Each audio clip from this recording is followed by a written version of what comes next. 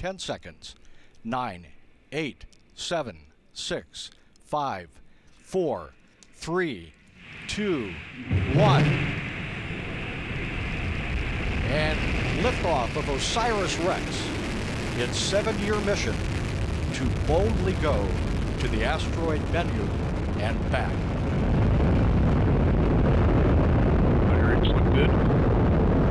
Starting pump speeds and injector pressures are within family. Repeat chamber pressures have plateaued, begun to ramp off. Heard the voice of Marty Malinowski.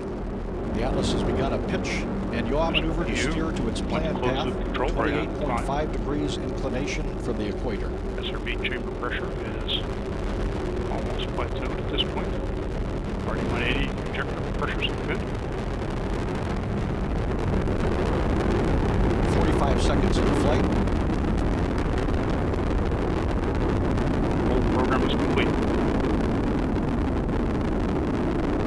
Boosters throttled down. And the Atlas rocket carrying OSIRIS-REx has gone supersonic.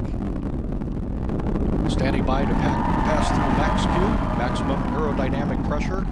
Max Q, vehicle rates continue to look good. This is the point when the mechanical stress on the rocket reaches its peak because of the rocket's velocity and resistance created by the Earth's atmosphere.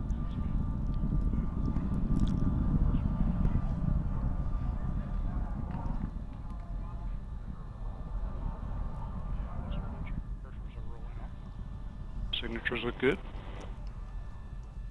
Current altitude is 14 miles. Downrange distance is 9 miles. Current velocity 2,488 miles per hour. Range track shows vehicle progressing down the middle of the range. In about 30 seconds, the single solid rocket booster will be jettisoned at 2 minutes 19 seconds.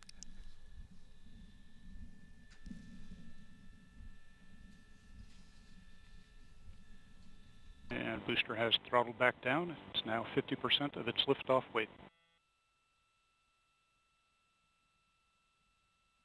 Next major event will be SRB jettison, coming up momentarily. And, and you see the solid rocket booster jettison. Solid. Separation looks good.